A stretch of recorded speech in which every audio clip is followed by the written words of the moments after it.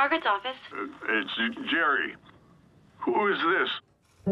I want to stay in New York for a while. What about your semester? I don't want to analyze other people's work anymore, Carl. I want to write. How about a literary agency? Great. But do you type on a typewriter? It's very different from typing on one of those computers. Did she give you her speech about the evils of the digital age yet? So there are no computers? I've seen them in action. They just make more work for everyone. You published poetry. Yes. Leave that out.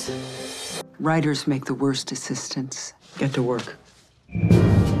There were hundreds of us working at literary agencies or publishing houses. We wanted to be writers ourselves. You're a novelist yourself? Joanna's my assistant. I don't hire writers.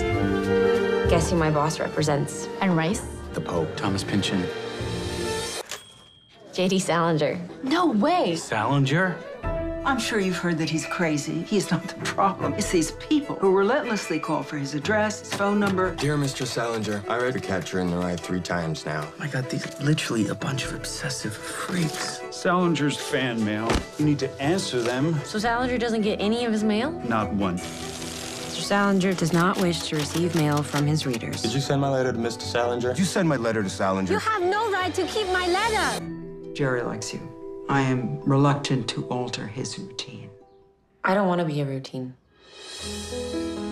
What did you plan on doing? You keep saying you want to write, but you work long hours for other writers.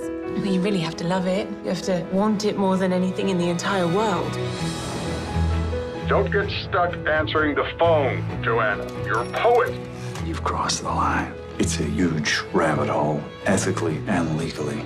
All right. You've had your fun.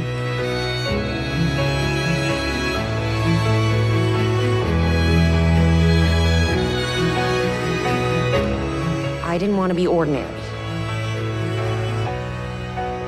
I wanted to be extraordinary.